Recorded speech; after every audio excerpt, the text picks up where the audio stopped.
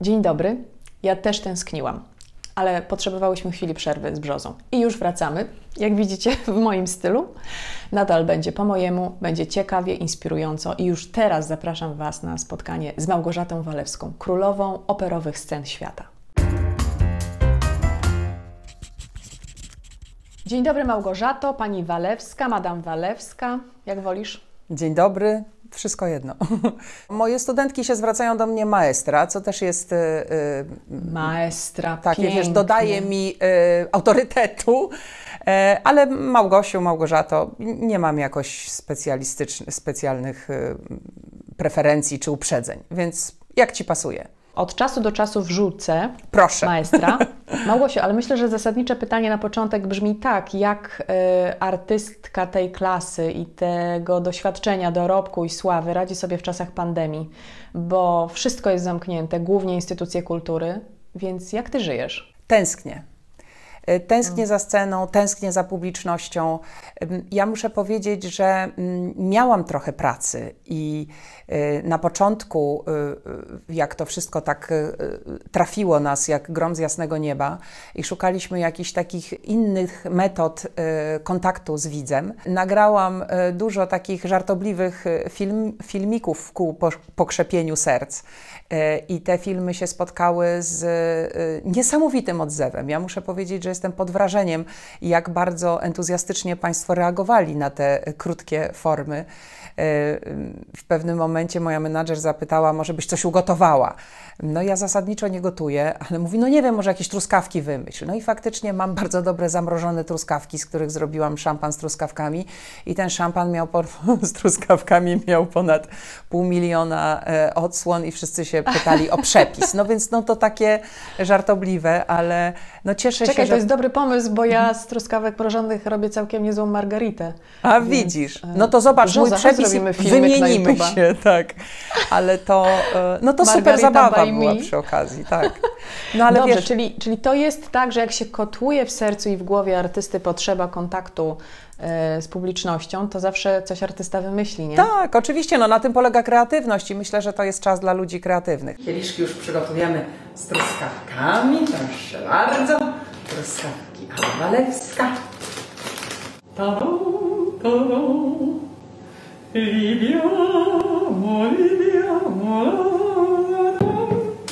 Proszę Państwa, Wasze zdrowie. Bo też jest sytuacja taka, że no cały czas żyjemy w, w, w, w strefie strasznego zagrożenia. I ja sobie mogę pozwolić na, na takie zabawy. Wszystkie w domu, moja córka i moja mama przeszłyśmy COVID, na szczęście łagodnie. Mhm. ale no, trzeba pamiętać, że po prostu ludzie umierają z tego powodu, no i wtedy jakby jest mniej zabawnie.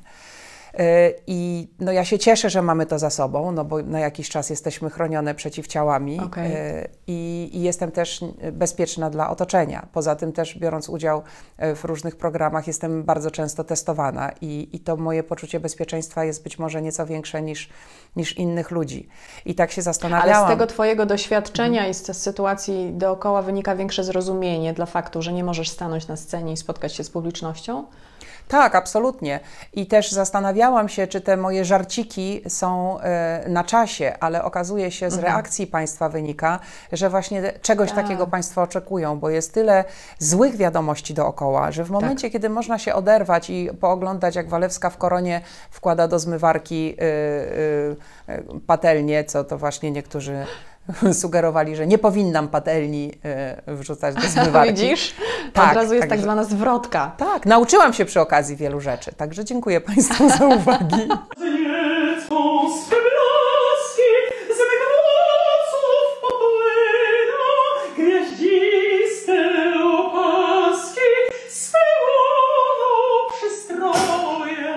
Ale wiesz, ty masz poczucie humoru, bo ty masz, ktoś by powiedział jaja, ja powiem waginę. Y, masz dystans do siebie, do świata. Tylko powiedz mi teraz szczerze i uczciwie, czy um, przeżyłaś mocno fakt, um, jakby to powiedzieć delikatnie i dyplomatycznie, że na przykład y, Narodowa Telewizja przez kilka dni y, wałkowała Twoje nazwisko w kontekście Sylwestra w Polsacie. Nie oglądam, więc w ogóle tego nie przeżyłam. Północy. A ja oglądałam i myślę sobie, Boże, Małgośka nawet nie wie, nasza maestra, co mhm. oni z nią robią. Nie Więc, wiem, to znaczy wiesz, dzwonili do mnie różni ludzie i mówili, co to znaczy. Dla mnie to mhm. jest, no to był żart noworoczny. Być może coś w ale komunikacji... Ale jak myślisz, dlaczego ludzie nie zrozumieli żartu? Już pomijam tę narodową, ale czytałam komentarze. Dlaczego nie potrafimy potraktować tego jak zabawy i promocji programu, w którym pracujesz? Przecież na tym polegał ten dowcip. Różnie to jest, dlatego że ja akurat w, też udostępniłam, moja menadżer na moim Facebooku, ten film no może dwa się pojawiły komentarze takie, że a po co pani to zrobiła, natomiast reszta to mhm. jest mnóstwo bardzo pozytywnych komentarzy. Pozytywnych. I ja no jestem właśnie. przekonana, że wszyscy ludzie, wszyscy, którzy znają program Twoja twarz brzmi znajomo i są jego fanami, y, poznali się na tym żarciku i nie mieli żadnych zastrzeżeń. Ja pamiętam, jak bardzo y, Polsat przywiązywał wagę do tego, żeby nie padło nazwisko. I w momencie, kiedy były jakieś wywiady robione ze mną, z kim ja zaśpiewam, to ja odpowiadałam pomidor. I Y, I, I, na pewno pilnowaliśmy tego, żeby nie powiedzieć, że wystąpi y, y, Andrea Bocelli, bo to była nieprawda. I ja myślę, że w momencie, no kiedy tak. ktoś mówi, że wystąpi Bocelli, a ktoś się za niego podszywa, no to w ogóle jest niebezpieczne, bo to grozi procesem, no bo Bocelli może powiedzieć, przecież to, to nie ja byłem, proszę mi tutaj zapłacić za to duże pieniądze.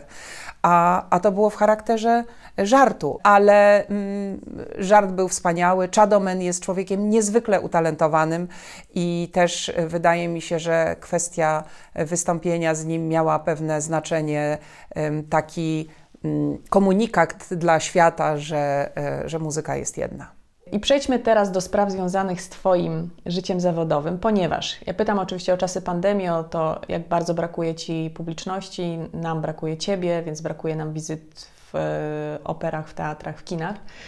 Ale ktoś taki jak Ty nie mógłby robić tylko żartobliwych filmików, nie usiedziałby na miejscu, więc e, powstała dzięki Twojemu talentowi ciężkiej pracy Twojej i Filharmonii Szczecińskiej imienia Mieczysława Karłowicza wspaniała płyta z pieśniami Karłowicza. W lutym będzie jej premiera. Płyta melancholijna, bo słuchałam jej sobie przez ostatnich kilka dni na serwisach streamingowych już jest. Premiera krążka w lutym. I tak sobie myślałam o Tobie i o tym, y, że udało się w tym, czego nie wiedziałam, lodowym pałacu, jak nazywany jest ten przepiękny budynek, który ja uwielbiam w Szczecinie.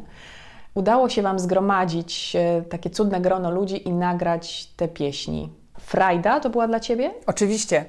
E, przede wszystkim e, zacznijmy od budynku. To jest naprawdę miejsce magiczne. Mnie się no kojarzy jest. z bardzo przyjemnymi czasami, e, latami, latami w sensie lata pora roku, które mhm. spędzałam mhm. w Finlandii na festiwalu w Savonlinie. I właśnie ten budynek bardzo mi się kojarzy z tymi skandynawskimi, z architekturą skandynawską i tak. z tym z jednej strony lodem, a z drugiej strony uroczymi ludźmi. E, I oprócz tego, że on ma taką zimną formę, to e, sama sala e, koncertowa jest złota. Obłęd. Tak, Obłęd. i to mhm. jest po prostu takie ciepło bije z tego złota. To jest jak taka jakaś jaskinia wyłożona kruszcem szlachetnym i już samo to miejsce ma wspaniałą energię. No mhm. i ludzie, którzy to miejsce tworzą, e, Rune Bergman, który nas zgromadził i zaprosił do tego mm, przed, e, przedsięwzięcia. Dyrygent. Tak, dyrygent. Jest człowiekiem, mhm. Mm, to jest Norweg, ale w ogóle nic nie ma w sobie z e, chłodnego Skandynawa. E, to można jest dusza kurczę, człowiek. pasuje, tak, ale, ale widziałam go, widziałam go, ponieważ można na stronie, e, na YouTube'owym kanale Filharmonii obejrzeć, jak pracowaliście nad tą płytą i widać było, że tam jest niesamowita energia między Wami. Tak cudnie było. Dla mnie to było niebywałe doświadczenie, dlatego że pracowaliśmy nad płytą, która ma teksty wyłącznie w języku polskim.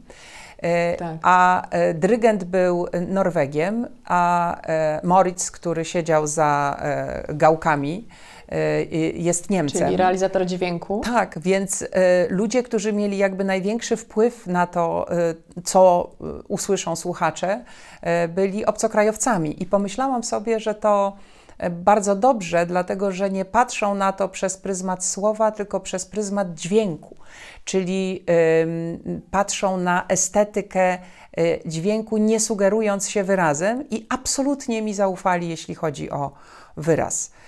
Ja nie jestem żadnym wytrawnym słuchaczem. Ale o to chodzi, to nie jest dla wytrawnych słuchaczy, to jest dla ludzi.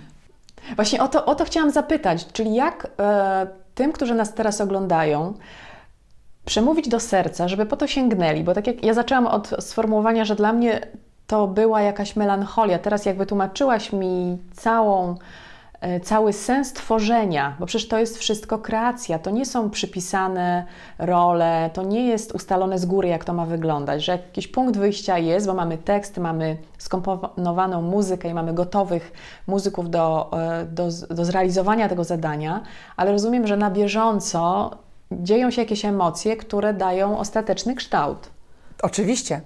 I każdy ale na przykład, Poczekaj, ale na przykład jakbyś poszła tam zła albo niewyspana, a idziesz na dzień, w cztery dni nagraliście ten materiał, idziesz tam e, w danym momencie, to dostajemy od Ciebie zapis też Twoich emocji, tego, co Ty czułaś? Nie, znaczy i tak i nie. E, w momencie, kiedy poświęcam się takiej pracy, staram się jej poświęcić całkowicie. Staram się odciąć od całego świata zewnętrznego i okay. Nie, nie kontaktować się z rzeczami, które mogłyby mi zaburzyć y, dobry nastrój. A zwłaszcza w momencie, kiedy wchodzę na salę i y, pewnie jak oglądasz pieczołowicie Twoja twarz brzmi znajoma, to Twoja twarz brzmi znajomo, to widzisz, ile ja mówię o oddechu. I tutaj też chodzi o oddech. Chodzi o to, że okay. wchodzę między ludzi, którzy spotkali się tutaj, żeby stworzyć wspólnie e, pewną wartościową rzecz. I teraz mhm. wszyscy, którzy tam stoimy i ci, którzy siedzą w reżyserce, muszą zostawić swoje życie prywatne na zewnątrz i poświęcić się tylko i wyłącznie temu. I moje życie prywatne okay. bierze w tym udział tylko jako mm, emocje, które są we mnie i przez tekst, który Karłowicz użył do swoich utworów, to jest Przerwa Tetmajer, to są wybitni polscy poeci. Adam Masnyk. Y, Adam Masnyk, y, Maria Konopnicka. Przez ich teksty wkładam swoje emocje w ich słowa i razem to wiąże muzyka. Bardzo Dobra, też było zabawne. Szczerze. Poczekaj, powiem Ci jeszcze, no. bardzo było zabawne i właśnie takie rozładowujące sytuacje, jak Rynę Bergman otwierał nuty i mówi Now we are playing Zeszwana Królewna. Królewna. E, no i to jakby rozładowuje sytuację i oczyszcza jakby atmosferę poprzedniego utworu i pozwa pozwala nam przenieść się do następnego. Czy ty sobie na przykład pozwalasz na to, żeby zaśpiewać coś kompletnie innego, na przykład coś z krainy lodu, na przykład mam tę moc? Oczywiście, oczywiście. To dawaj. E, ostatnio miałam taki koncert. E, I know you, I walked with you once upon a dream. I know you, that look in your eyes is so familiar to me. Nie pamiętam tekstu. Ale pięknie. Ale to śpiewasz dla przyjemności, czy śpiewasz? Śpiewałam też na koncercie, na koncercie muzyki filmowej. Okay. Ja śpiewam bardzo różne rzeczy, Magda, bardzo. No, oprócz disco polo w zasadzie mam szeroki wachlarz. Bo twój głos jest właśnie opisany jako mezzosopran dramatyczny, czyli to coś konkretnego znaczy coś więcej niż mezzosopran, nie wiem, zwykły? Co to znaczy? Wiesz co, jest taki podstawowy podział typu sopran, mezzosopran, y, tenor, bas. I to jest taki podział, który występuje na przykład jak śpiewasz utwory oratoryjne. To to jest tyle i koniec. Ja jestem mezzosopranem, czyli to jest jakby kolejny głos w hierarchii. Najpierw te wszystkie sop sopranowe y, gatunki Czyli te wszystkie wysokie już mamy. Tak. A teraz A mezzosopran też może być na przykład mezzosopran ze zdolnością koloraturową. To jest na przykład Cecylia Bartoli, która śpiewa rolę mezzosopranowe, czyli na ciemniejszy głos, ale też potrafi kukać. Ona Królowej Nocy nie zaśpiewa, ale zaśpiewa różne utwory Händla, które też wymagają niebywałej biegłości y, koloraturowej. Y, potem dalej jest mezzosopran y, liryczny, no to jest właśnie taki, co śpiewa na przykład Wertera w Charlotte w Werterze i ja już ten gatunek głosu, moja skala i możliwości obejmują. E, potem jest mezzosopran dramatyczny i to jest to, w czym ja się czuję najlepiej, a potem jest alt, który śpiewa te role super niskie, I to jest też głos, w którym ja się czuję dobrze. Także moja skala i warunki fizyczne i warunki wokalne pozwalają mi mm, śpiewać repertuar, który przynależy do trzech rodzajów głosu, czyli mezzosopran liryczny, dramatyczny i alt, e, czyli ten najniższy. Najniższy tak, głos czyli, taki. Najniższy głos. Czyli z tego To jest coś takiego, co tutaj już wszystko dużo na piersiowym dźwięku trzeba operować. Ale czad, ale czad. O. Czyli to oznaczałoby, że mhm. masz więcej pracy niż ktoś, kto jest wąsko utalentowany, tak? Czyli możesz dostać to znaczy, więcej zleceń na więcej Mam więcej możliwości. Mam więcej możliwości, mhm. no bo więcej pracy to zależy, teraz nie mam pracy wcale i nikt nie ma, więc to trudno tak, w ten no, sposób wiadomo. mierzyć. Ale ym, no nie boję się tego, że się zestarzeję. No bo taka królowa nocy na przykład. No właśnie, o to chciałam W momencie, zapytać, kiedy ma wiek, 60 lat, no to ona już tak. Znaczy u mnie wiek nie gra roli, natomiast gra bardzo dużą rolę kondycja fizyczna bo to oprócz tego, że się śpiewa, to na tej, na tej scenie się trzeba nieźle gimnastykować. I kwestia, nie wiem, kucania, padania na kolana, wstawania z kolan, y, tak. no też w momencie, kiedy gram Carmen, no to muszę to robić sprawnie, a w momencie, Oj, kiedy gram jakąś starą wiedźmę, no to y, mogę to robić stosownie do wieku roli, którą gram mhm. i stosownie do wizji reżysera, bo wcale nie jest powiedziane, że postać, która jest w operze stara, reżyser ją będzie widział w ten sam sposób. Teraz się tak różne rzeczy dzieją, że naprawdę wszystko jest y, możliwe. Powiedz, co poświęciłaś w życiu prywatnym dla tych emocji, dla, dla tej ciszy, o której przed chwilą powiedziałaś, dla tych momentów?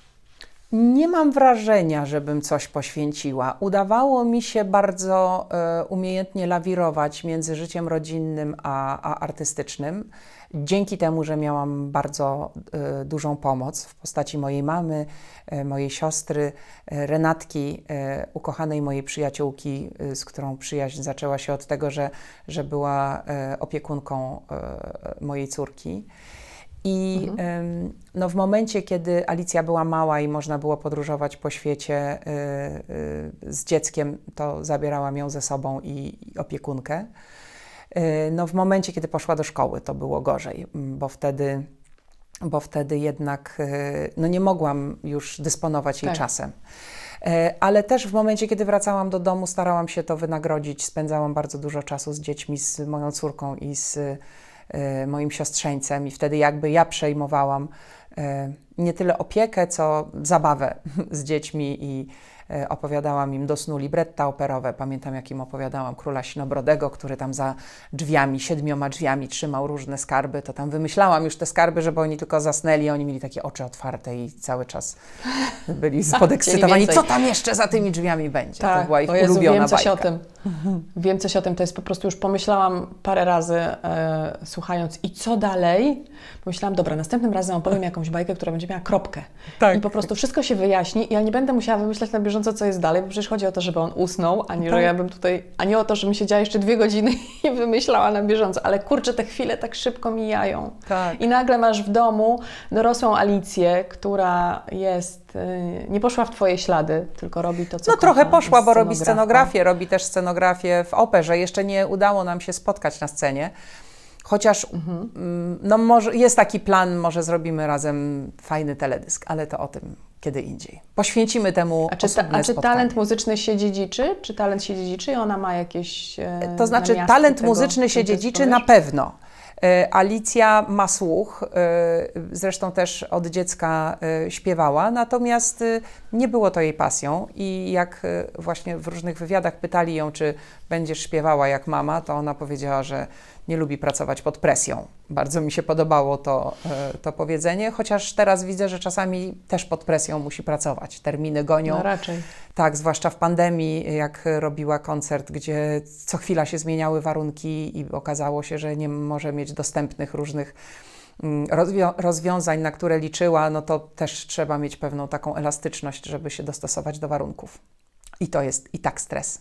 Maestro moja, a powiedz, jak to się u Ciebie zaczęło? Oglądają nas ci, którzy Cię kojarzą, ale nie znają Twojej drogi zawodowej. Kiedy był ten pierwszy dzień, pierwszy moment w życiu Małgorzaty Walewskiej, że wiadomo było już w pewnym sensie, może Ty wiedziałaś, a może otoczenie, że to będzie Twoja droga, że sceny operowe świata należą do Ciebie? Nie, nie, to bardzo długo tak nie było, ale to się łączy z Twoim innym pytaniem. Yy które brzmiało, jak przybliżyć normalnemu słuchaczowi y, klasyczną muzykę, która jest spoza zasięgu. I ja jestem właśnie czystym dowodem na to, jak droga normalnego człowieka, który nie wie nic o operze i mało o muzyce, y, może się skończyć na wielkich scenach operowych. Ale zaczęło się mhm. to bardzo późno. To znaczy, ja śpiewałam od urodzenia i śpiewałam cały czas, albo gwizdałam, albo no gęba mi się nie zamykała generalnie. E, potem, e, jak poszłam do szkoły e, podstawowej, w szkole podstawowej miałam nauczycielkę, która nazywała się Danusia Kudrewicz, i ona jakby pierwsza usłyszała jakiś potencjał w tym moim głosie, do tego stopnia, że poszłyśmy razem z moją mamą i z Danusią do szkoły muzycznej na Bednarskiej. Mieszkałam na Powiślu, więc było niedaleko. E, no i tam zaprezentowałam swój warsztat wokalny. No tam nikt specjalnie nie umarł z zachwytu. Powiedzieli, że tak, ale to za młoda, trzeba skończyć 16 lat, żeby zacząć się kształcić klasycznie. I taki był mój pierwszy kontakt, który mm, nie y, przyniósł jakichś konkretnych y, rozwiązań, natomiast zasiał pewne ziarno niepokoju. I drugi taki moment. Nadziei. Tak. Znaczy, wiesz co, potem poszłam do liceum, zaczęłam pić, palić, bawić się z chłopakami no i w tak, ogóle no, jakby jeszcze, zapomniałam. Jeszcze pożyć, no. Tak, e, ale cały czas na przykład lądowałam u dyrektora na dywaniku za to, że robię kabaret z klasy. I w mom- bo tam szła gitara e, e, w ruch i śpiewaliśmy różne piosenki. Chciałabym być w tej klasie. Fajnie było, fajnie było. No. Chciałabyś. Ja byłam bardzo zadowolona. No tylko co chwila mnie chcieli wyrzucać ze szkoły, także to, że jestem człowiekiem A. wyedukowanym, zawdzięczam Tadeuszowi Kuranowi, który był naszym wychowawcą i który y, czasami tracił do mnie cierpliwość, bo byłam super energetycznie roz, y, rozbuchana.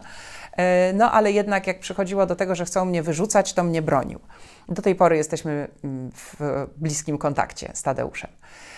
I, e, i w momencie, kiedy zdałam maturę i zaczęłam się zastanawiać, to był pierwszy moment, jak trzymałam świadectwo e, maturalne w ręku. Pamiętam ten dzień, stałam na sali i się zaczęłam zastanawiać pierwszy raz w życiu, bardzo późno, patrząc na to, jak dzieci teraz dookoła planują swoją przyszłość co ja bym tak naprawdę chciała w życiu robić. I wtedy do mnie dotarło, że ja bym chciała śpiewać.